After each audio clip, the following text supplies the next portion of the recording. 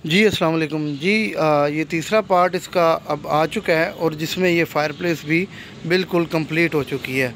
और जिसमें आप ये देख रहे हैं कि ये अब जो पहले नारियल लगाया था और अब वही नारियल की आप जो बेस है वो देखें कि किस तरह चेंज हो चुकी है।